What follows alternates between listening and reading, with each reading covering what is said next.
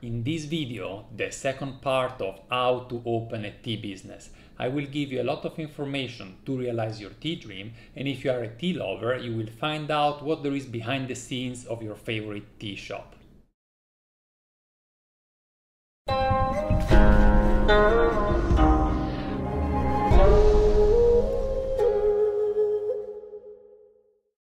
Hi guys, this is Gabriele from Nannuoshan where we share the pleasure of drinking and discovering genuine farm tea.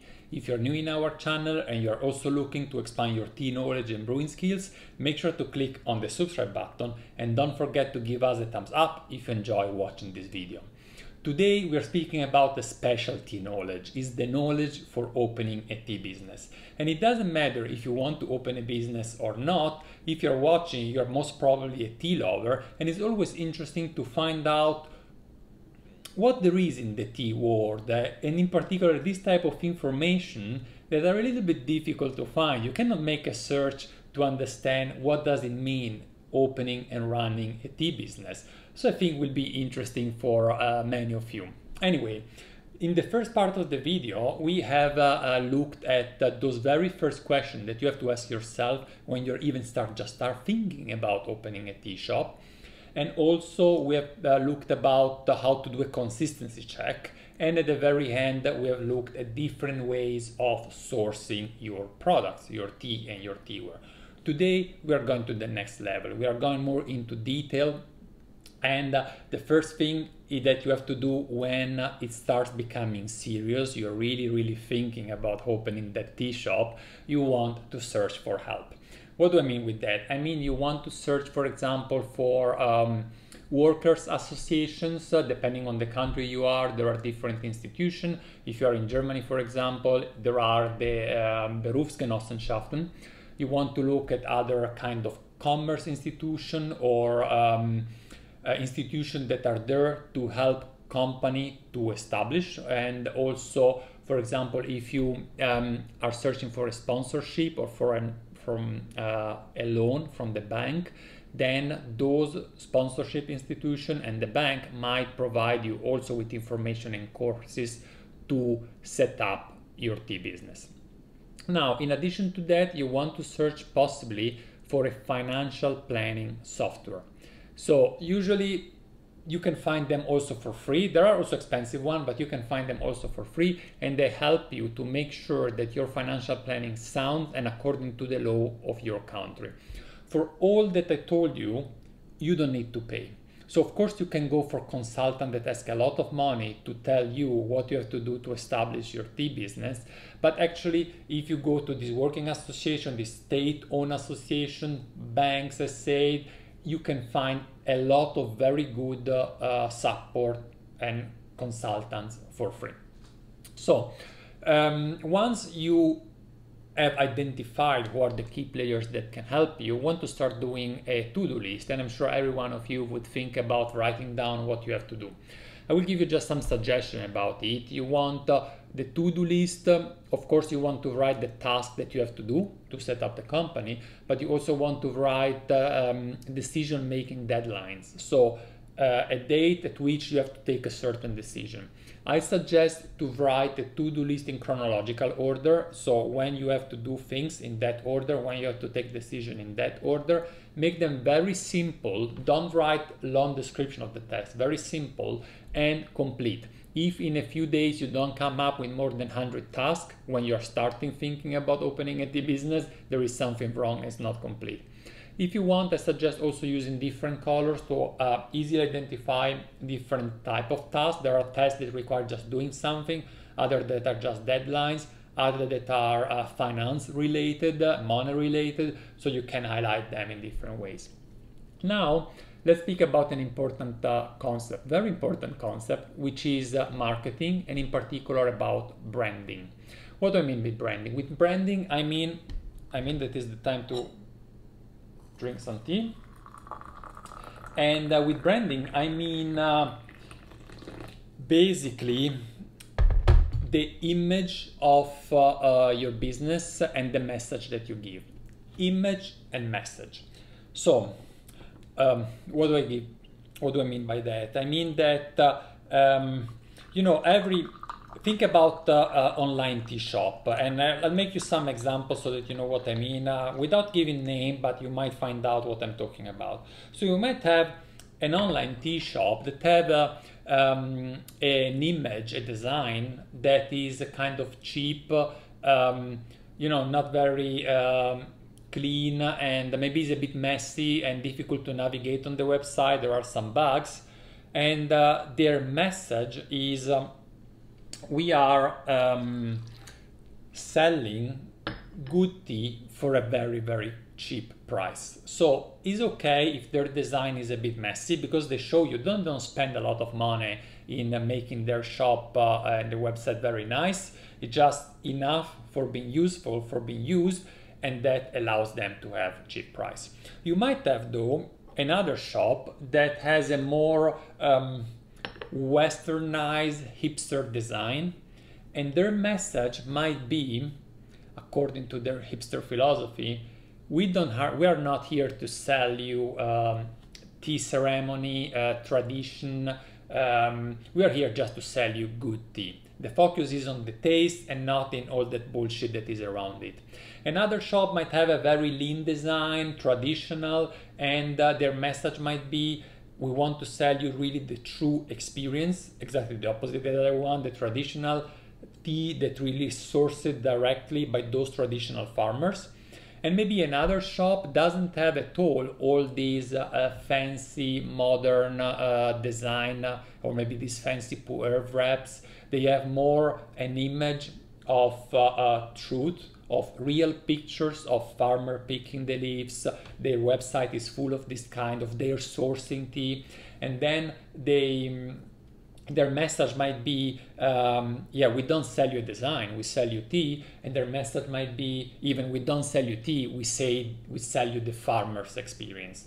Anyway you want to identify better sooner than later which is your image and your message. And then up from there you want to start uh, building up uh, your uh, corporate image so not only uh, the logo, but also the corporate color, the fonts, how you want to uh, make the layout of your website, of your shop, the interior design. So I'm making some sketches so that everything is harmonious and um, makes sense together and reflect your image and your message. All right. Now, let's speak about another important, very important uh, uh, step uh, that helped me a lot when I started Nannuoshan and is doing a business plan. You have to know that when I got serious about Nannuoshan, I spent about a month every evening, four to five hours till late at night, working at the business plan. And uh, um, I really suggest to do that to every one of you, not only if you are forced to do so because you want a loan from the bank and they force you to, uh, to have one. I didn't have to do one, but I did it anyway. And um, you know, I'm not an economist, I'm an engineer. I won't go into the detail of how to do and set up a business plan. I'm not probably the right person for it, but I want to give you some tea specific uh, suggestions about writing a business plan. A business plan consists basically of uh, three different parts. The first part, and I have some notes here and I want to read them, is um, the business idea, the description of your basic business idea. The second part is uh, description of the company, and the third part is the financial plan. So let's start speaking about the business idea. And I have a series of points here because when I start thinking about it, at what I did at that time, and I took again my business plan to have a look at it, there was so much that I was thinking, oh, I will never be able to remember all these in front of the camera. I have to write it down. So the first point is product and supplier list. You want really to write in your business plan a detailed list of product and supplier and information about those. This helps you to plan the future. You want to think about the customers. That's very important. Who are your customers? How do they find you and why they should buy from you? Ask yourself this very question and go into details. Don't just say, my regular customer is between 20 and 40 years old uh, and uh, um, you know with an inc- medium income and you have to go really into details and ask yourself who will buy your stuff yeah why how do they discover you make an analysis about that. These three points, uh, so these two points, products, suppliers, and uh, uh, customers, I actually uh, looked uh, very into detail before starting, so I was really happy with that. One thing that I'm, it's a strange tea. Actually, it's not my tea. I just picked up a bag from Caroline um, that it looked like a Taiwan oolong, but it's a very strange aroma. It sounds like it, there might be some um, artificial aroma in it. Hmm, a bit of a strange day. I will have to ask her what it's about. So I was saying, sorry, the third point is competitors. And this is um, an aspect that I looked at when I did my business plan, but I neglected it. I um, didn't look it deep enough as I had to, just because I didn't have enough knowledge, not because I didn't have enough time. So please don't underestimate the competitor analysis. Take it very seriously and I will give you here some uh, detail about that. So, first of all, your competitor do not necessarily offer tea. If you're opening a tea house and you have a coffee in down the road, that coffee might be your competitor because for you, what you are offering is different than what they offer. If you go to your shop, you wouldn't go to there. But from another customer perspective, the two things might be similar. It's cold in winter, I want something warm. Do I go for coffee? Do I go for tea? And uh, um, also, your competitors may be very, very far away. If you open a tea shop, you may have to have uh, uh, to deal with competitors that are in Taiwan, in Japan, in the US, in China. So you have to broaden your uh, competitor analysis worldwide, which is quite challenging, but must be done. And uh, uh, a very tricky aspect is hidden assets. So what I mean? I mean with advantages that other shops have that are not easy to find and you don't realize them until it is too late. So um, it could be that in the country where those shops are running, let's let's speak now just for example about the web shop because it's the, the thing I know better. And uh, uh, it might be that in the country where they are, there are different laws that in the country you are that allow them to do business in a different way that is more profitable and have an edge in front uh, with respect to you. It could be, for example, that they have very low shipping cost and uh, uh, maybe they're located in a country in Europe that have very easy way to send and very cheap way to send parcel over to the US while in the country you are in Europe is not possible. So you are thinking you are getting also those customers, but they don't buy from you because the shipping costs are too high. Or, uh, and this is a tricky aspect, it could be that some of those business have something illegal in them. And uh, again, I even didn't consider at all this aspect when I started Nannuoshan to then realize that the T word is actually less clean than I was thinking and probably you are thinking. And uh, there is a lot out there that is not uh, uh very legal. I won't, of course, tell you any of the information I have about that because it affects other competitors and it's not correct. But I want to give you some ideas, and the ideas I give you are really things that I have experienced and not uh, uh, that uh, I'm inventing right now. One aspect might be tax declaration. You could have some advantages because in your country you have less taxes, but you could have also advantages in other ways. And if your competitors make use of those advantages, because maybe um, they don't do a lot of checks in their country, is uh, a problem for you because they can put the price much lower than you and uh, they make profit and you don't. Another aspect is uh, fictive donations. Uh, you see that sometimes uh, tea businesses offer service for tea, I express it this way, and they just ask for donations. So what do you think about those donations? Is really clean money or is money they just put in their pockets and they don't declare? Um, there might be businesses out there that just live out of it. Another aspect is fake products. Uh, this is uh, in particular affecting uh, some of the teas, like for example, Pu'er, but not only. And uh, uh, they might pretend you that they offer a certain product, uh, but they actually not offering it. Is a fake product or it could be that they are pretending doing direct sourcing and bringing you the tea directly from the farmers, but actually 90% of what they buy is from wholesaler. And uh, let me see if I have another example. Of course, another aspect is illegal marketing and illegal SEO, search engine optimization. a lot of that out there and uh, um, are uh, basically entities that have found ways to make advertisement and improve the way they are ranked in Google in ways that are actually uh, not uh, by the law. Anyway, uh, if I found out some of those, you can find out them yourself. So make your search, be aware of it, because uh, that can be a big uh, um, hurdle to your uh, business as well. Another aspect for the business plan is prices. And here um, you want to understand two things basically. One thing is which is the market price of certain products. You want to offer green tea, you want to offer Japanese green tea. Um, look at the prices out there. Can you be competitive with those prices? With all the costs you have, can you actually offer those prices? And this is one aspect. The other aspect is build your own price strategy. So you want to start thinking about how do I convert my cost to what actually the customer paid to me.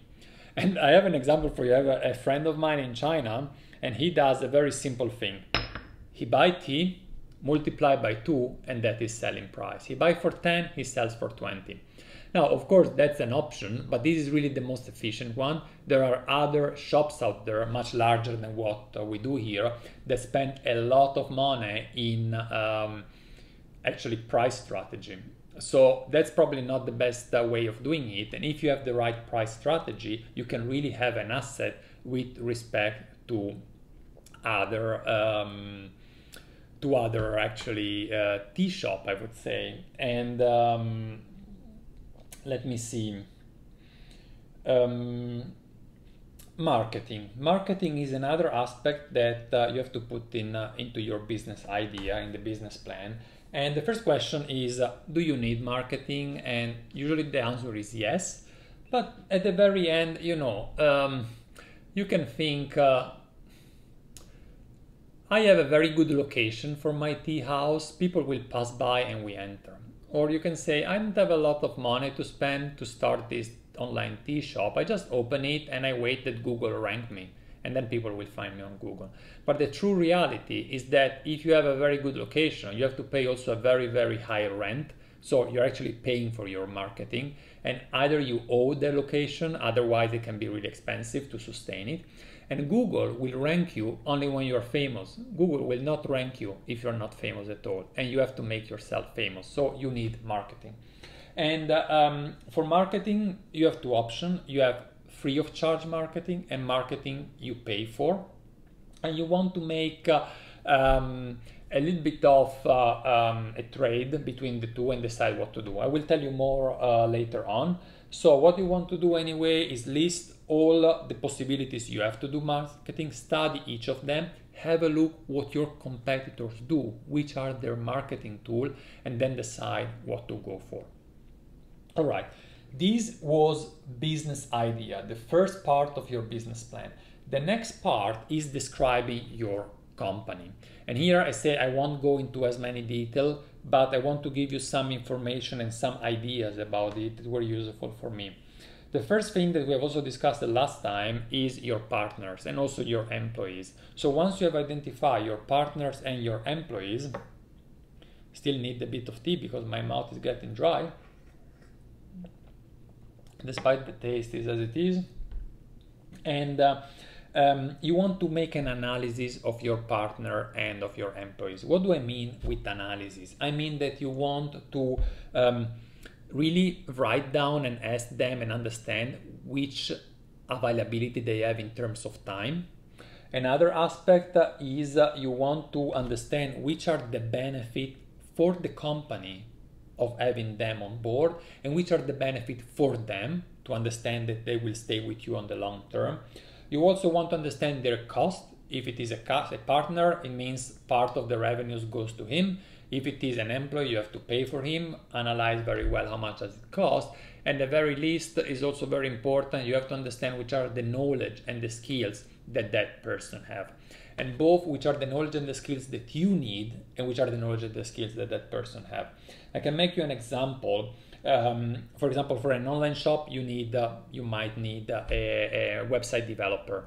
At the very beginning, I need a search. I identified one. He said uh, he make an estimate for uh, the design of the website. He said it will take about four weeks. It took more than four months, and it was so, it was so painful to go through that process.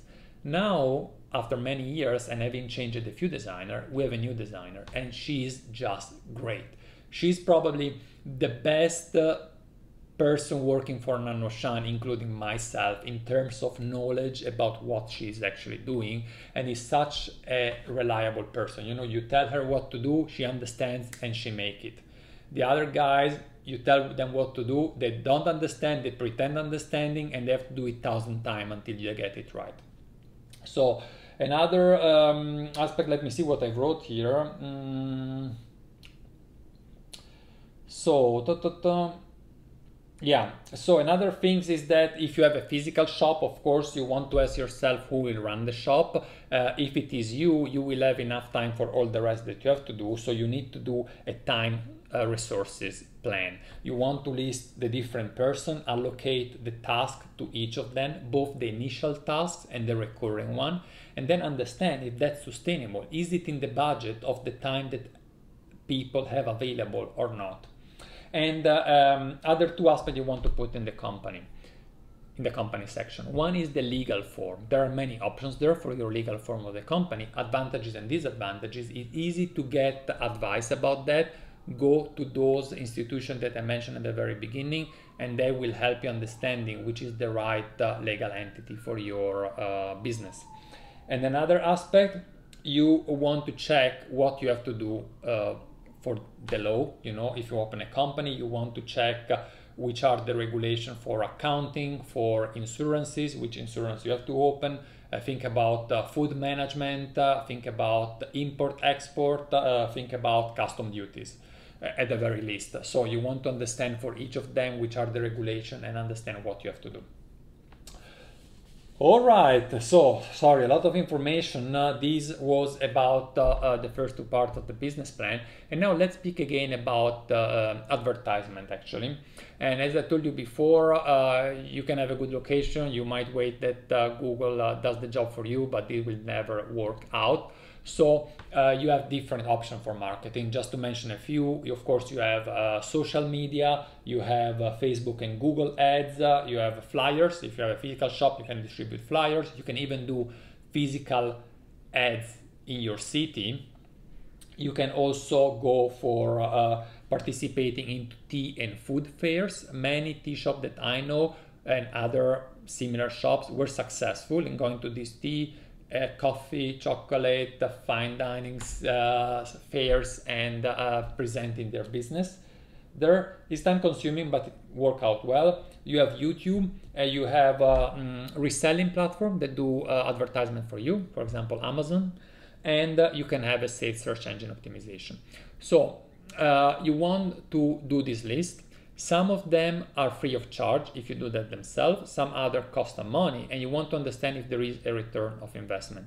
It means if the money and the time you spend for those marketing is really worth spending. If, for example, um, think about Google and Facebook ads. Most of the money is done by Google and Facebook. They offer you ads because they want to make money out of it. This means that most of the people that put their ads with Facebook and Google don't make money but lose money. Now, if you're able to do it yourself, you can give it a try. If uh, you have you need support, you need a consultant for doing uh, Google ads, Facebook ads, uh, uh search engine optimization, uh, the odds that you are really getting a return of investment are very little. And um, our personal experience, you know, at the very beginning, we opened the, we opened the shop we didn't do a lot of marketing, and in fact, we even didn't get a lot of uh, um, a lot of orders at all. Uh, we tried to do search engine optimization, Google, Facebook. Nothing really worked out well. Yes, we got an increase, but it costed also a lot of money. And despite that, all the time I spent in that and getting consultant also, you know, I know people that manage, uh, for example, with Facebook ad to get something out of them but uh, uh, it was really hard and they invested a lot of money at the beginning. So another um, thing that happened then is that at a certain point we opened a tea house, and with opening the tea house, we got an automatic uh, uh, mm, form of advertisement because people even buying online they were seeing behind nannuoshan there is a physical tea house in downtown berlin it was a way of uh, trust you know um, so we built up this trust and even if the tea house now is closed we still profit out of it for sure and then when we closed the tea house, I decided to start uh, the to revamp the YouTube channel. I didn't think at it about uh, uh, really a way of doing marketing and basically was missing the contact with the customers. But then it turned out that actually it helps also uh, sales. The return of investment is very little. Like I have to say, if I would have to pay myself just a few euros for every hour I spend for the YouTube channel, would be a great loss. But as a matter of fact, it's kind of fun. I enjoy doing it. Of course, I don't pay myself for doing it, and uh, it's uh, um, working fine. Makes fun, brings some uh, uh customers, and uh, uh, people are happy and can learn something about tea knowledge. So try to find your way for doing marketing, but think at the very beginning. And also, when you do marketing before opening your tea shop, think about if you will have enough time to sustain that marketing afterwards. If you spend now three hours a day on your social media and posting pictures and uh, editing picture to be posted and so on, when you will start your business, if you have to spend eight hours a day in the shop and do all the back shop and so on, you won't have time for it. So, at the very least, I want to speak about uh, probably the most important aspect that is um, finance you know that um, is a tea dream, right? You want to open a tea business and you have a tea dream, and that tea dream can become a nightmare if uh, your calculations are wrong and you start losing a lot of money, or all the money you have invested never come back. So, uh, for the financial plan, there are software available. You can do everything in Excel if you want, but you have to implement all the rules and regulations that are applicable in your country. It might be tricky. So uh, check out for some software. A financial plan consists actually of three different parts. The first part is the initial investment, all the money you have to put in before you even open. Then there is profitability and then there is liquidity. So let's look quickly about each of them. The um, initial investment, you want to make a list that is as complete as possible. You don't want to miss anything because you want you don't want to realize why you buy things that you don't have enough money to continue. So uh, there is nothing more to say than that. You know, try to make a complete list of all the costs that you have at the very beginning. You don't have to put them in time order, just a list with all the costs. Make the sum and check that you can sustain those costs. When we speak about profitability and liquidity, is a little bit of a tricky aspect because they are not the same. A company is profitable if after all the taxes you make a profit liquidity or uh, if you want also cash flow is the ability of paying the bills so you can do profit at the end of the year but maybe during that year at a certain point of time you don't have enough money to pay your bills and you might be in troubles so there are different parts of the financial plan you can find all the information online and you want to do them uh, both by the way let's speak about profitability let's say that you're not interested in it because you open an online shop it has little expensive you don't care about really doing money well, the state where you are might uh, care. Uh, there are states in which there are uh, laws that uh, um, do not allow to make a business that have loss. So if you have a loss the first year, the second year, the third year, at a certain point, the finance officer may come to you and tell you, you cannot do that. You have to make profit next year, otherwise you close and you don't want to, to do that. So find out uh, uh, if this is the case in your country and make sure that you do profit if it is required, even if you don't care. All right. Um, one important aspect that I want to tell you when you do a financial plan, you have to make some assumptions. Of course, you have to assume, for example, how many customer you will get, uh, which is your average order. And by the way, let's speak about average order. Um, what do you think? which is the average order in euro that Nannuoshan get on our shop. Do you know that? Well, I know it, of course, because we have statistics. So let's do like that. The first of you that in the description below guess which is our average order value on our shop within let's say plus minus 3 euros we'll get a 20 euro voucher for the nannuoshan shop let's give it a try, write it down, and the first that guess, I will let you know. Let's say um, in 2020, up to now in 2020, which is the uh, average order that we get. Now continue, you do all the, these assumptions and um, with the best the best guess that you can. You don't want to make only one guess. You also want to assess the risk that this guess is wrong. If you assume that in your tea shop you get uh, uh, 20 people every day or you get 20 orders every day, which are the odds that instead of 20 they are maybe 10 or maybe 5? Of course, if you open a tea house in New York City, you will never have zero people coming in unless there is COVID-19 and you have to close, but let's forget this for a second and uh, you uh, have to make a worst case assumption. You have to calculate your reference financial plan, and then you want a very worst case that is still reasonable. You know, you have your shop in New York, you cannot assume you have zero customer, assume some, and then you want to see how worse it can get the total. Can you sustain that loss? Is a risk that you really want to take? And uh, be aware, don't be too optimistic, right? Is a hard uh, business for sure. And um, yeah, um, uh, yeah, this is the, the, worst case analysis that you have to do. I'm completing these uh, uh, with this worst case analysis, but what I want to tell you is we have been doing it for some years. It is a lot of fun, no matter if you really want to do money or uh, not. Um, it is a great way of sharing tea knowledge you can share the knowledge with friends, but when you have a business, you can really reach out. That's the reason why we have done it. And that's the reason why I'm doing this video and revealing to you all this information because I want that there are more good tea businesses out there so that every one of us can profit and the worldwide the tea knowledge and tea culture and tea art can increase and broaden. Thank you very much for watching. Don't forget to subscribe our channel if you haven't done it so and please to give us a thumbs up if you haven't done it yet and you have enjoyed watching this video. Thanks a lot and I will see you in the next video. Bye bye guys.